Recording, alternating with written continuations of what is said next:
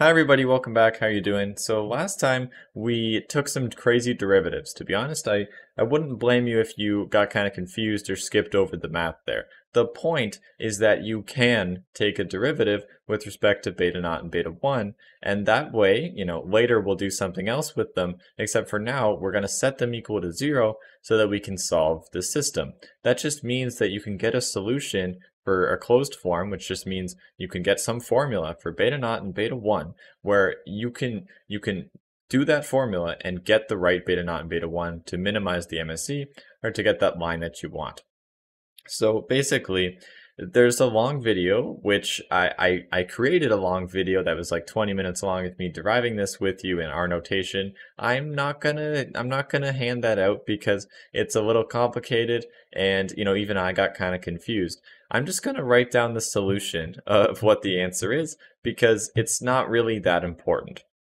I consider taking the derivative a lot more important because that's the theme of machine learning is is not setting these things and solving a system. It's setting it's getting derivatives and we'll we'll see later about what we do with them.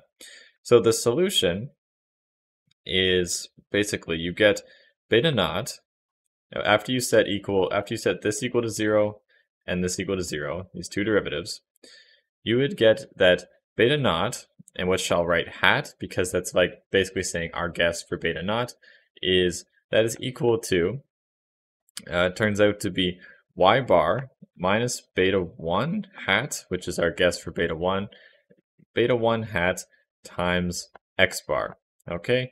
Where where the bar just means an average. So I'll just write it for x bar is equal to 1 over n times the sum as i goes from 1 to n of xi and that would be the same for y, y bar just with the y's instead. Okay, so that's what beta naught is equal to, except that's dependent. We have that written dependent on beta 1, or beta 1 hat. So beta 1 hat, that is just equal to, and this is not going to have any beta naughts in it because then it still wouldn't be an answer.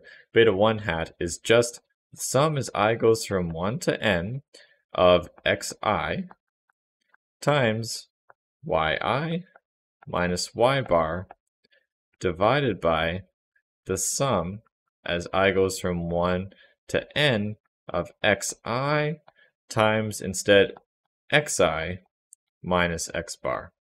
Okay, that's, and you'll see a bunch of different solutions, or it might look kind of different if you look at different resources, but here it's one, it's the same solution no matter what as to what beta naught and beta 1 is to get that line.